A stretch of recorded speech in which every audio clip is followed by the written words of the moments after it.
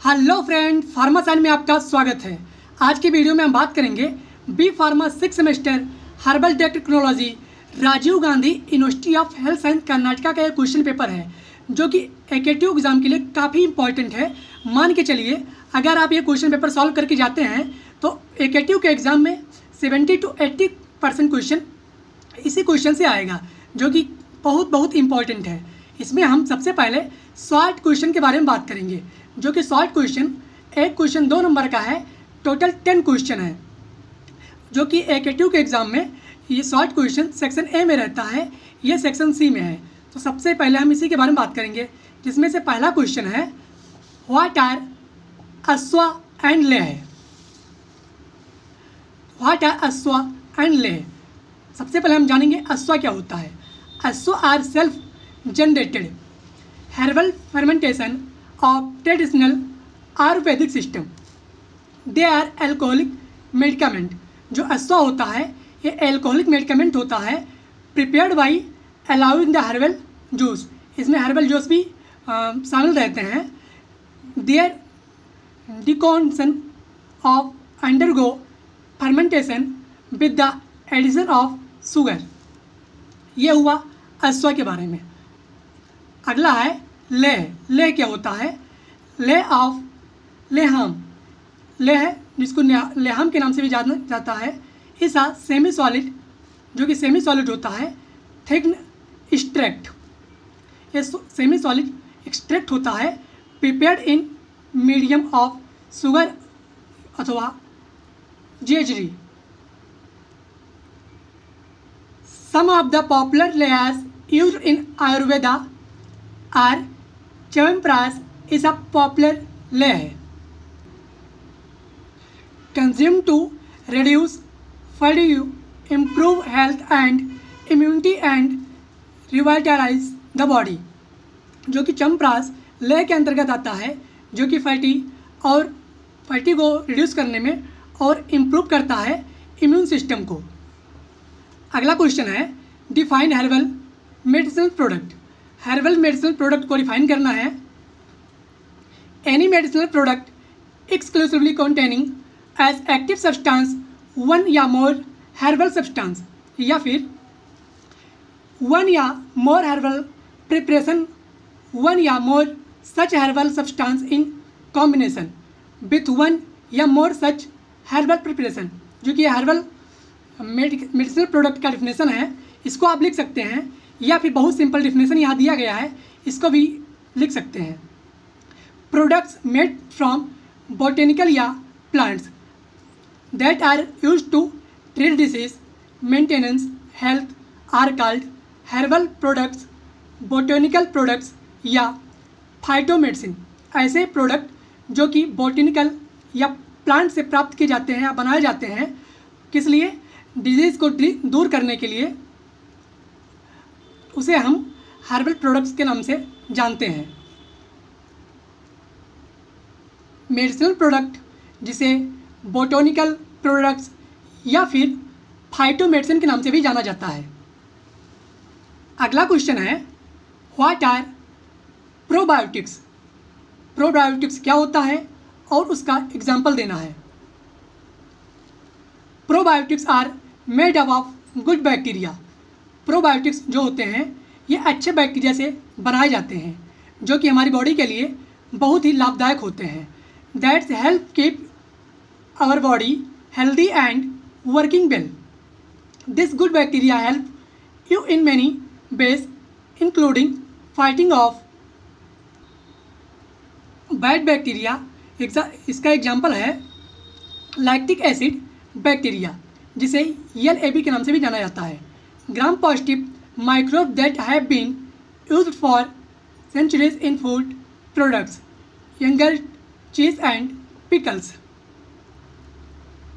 तो प्रोबायोटिक जो कि अच्छे बैक्टीरिया से बनाए जाते हैं और हमारी बॉडी के लिए काफ़ी अच्छे होते हैं बॉडी को हेल्दी बनाए रखते हैं और बैड बैक्टीरिया को किल करते हैं या फिर उनसे लड़ते हैं जिसे प्रोबायोटिक्स के नाम से जाना जाता है इसका एग्ज़ाम्पल है ये लेवी लैक्टिक एसिड बैक्टीरिया।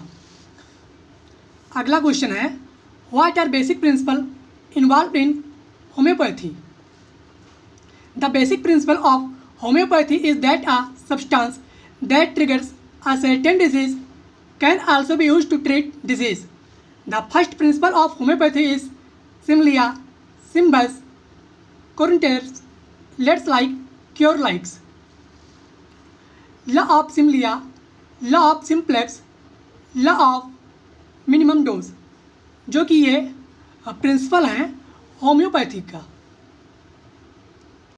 अगला क्वेश्चन है, mention two example of nutraceuticals used in treatment of cancer. सबसे पहले हम जानेंगे न्यूट्रास्यूटिकल होता क्या है, उसके बाद में न्यूट्रास्यूटिकल का क्या यूज़ होता है इन कैंसर में। A nutraceutical is defined as any substance that is a food या part of food and provide medical and health benefits including the prevention and treatment of disease food या food के किसी part में जो vitamin fatty acid या fibres पाए जाते हैं, जो कि बीमारी से लड़ते हैं, उन्हीं को न्यूट्रास्यूटिकल के नाम से जाना जाता है। Nutraceutical use in treatment of cancer nutraceutical का क्या यूज़ होता है? कैंसर में vitamin minerals, probiotics and prebiotics, जो कि कैंसर में यूज़ किए जाते हैं इन न्यूट्रास्यूटिकल। फैटी एसिड, जिसमें lecithin, conjugated linolenic acid and dietary fibres में soluble fibres and insoluble fibres, ये सब हेल्प करते हैं कैंसर को ठीक करने में। अगला क्वेश्चन है give the two example of waxes use in herbal cosmetics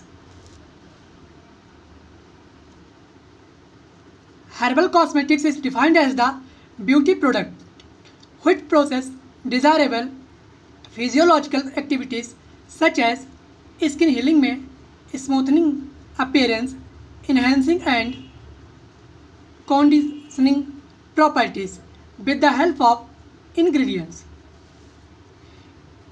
emulsifying wax is one of the essential ingredient to make lotion and creams emulsifying agent wax जो कि लोशन और क्रीम को बनाने में यूज़ किए जाते हैं the most commonly use vegetable waxes in cosmetics formulation are carnauba and jojoba carnauba and jojoba, जो कि वैक्सेस के एग्ज़ाम्पल हैं, जो कि हर्बल कॉस्मेटिक्स में यूज़ किए जाते हैं। अगला क्वेश्चन है what are the ideal requirement of bhasma? शोधन, जिसका प्योरीफिकेशन किया जाता है वैरन पाउडरिंग में चैलान स्ट्रिंग धवन क्वासिंग गैलॉन फिल्टरिंग एंड पूतान हीटिंग वर्डन ट्रिचरिंग भवन, कोटिंग विद हर्बल एक्सट्रैक्ट अमुरफिकाम डिटॉक्सिफिकेशन शोधन एंड प्रिजर्वेशन अगला क्वेश्चन है list any four plant based industries in India जिसमें अमिल फार्मास्यूटिकल न्यू दिल्ली आता है चार्क फार्मास्यूटिकल मुंबई, भारती रासंगैर Kolkata and the Himalaya drug co Bangalore जो कि four plant based industries in India ये चार है। अगला क्वेश्चन है mention the constituent and use of spirulina इसका यूज़ बताना है और इसमें कौन कौन से कॉन्स्टिट्यूंट पाए जाते हैं, उसके बारे में लिखना है। इसके कॉन्स्टिट्यूंट हैं E P A eicosapentaenoic acid, docosahexaenoic acid, जिसको डी एच ए के नाम से भी जाना जाता है, arachidonic acid and polyunsaturated fatty acid, जो कि स्पायरुलना के केमिकल कॉन्स्टिट्यूएंट है। अब बात करते हैं स्पायरुलना के यूज़ के बारे में। Its use in reduce pain sensitive purity blood boosts immune system immune system को इम्प्रूव करने में और ये रिड्यूस करता है एनक्साइटी को। तो इसके यूज़ हुआ स्पायरुलना का।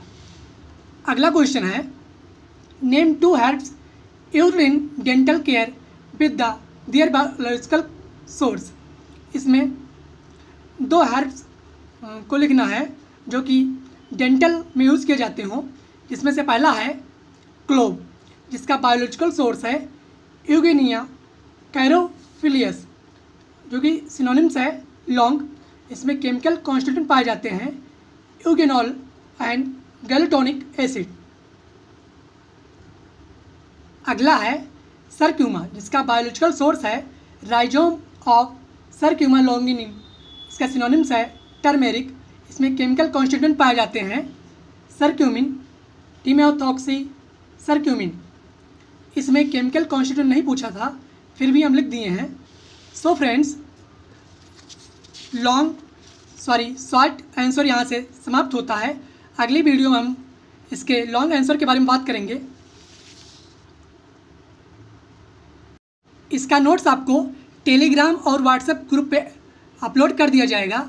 अगर आप टेलीग्राम और व्हाट्सएप ग्रुप ज्वाइन नहीं किए हैं तो आप चैनल डिस्क्रिप्शन में जाके लिंक दिया गया आप ज्वाइन कर सकते हैं। सो so फ्रेंड्स अगर ये वीडियो आपको पसंद आया हो तो इसे लाइक करें चैनल को सब्सक्राइब करें और ज़्यादा से ज़्यादा शेयर करें. Thank you so much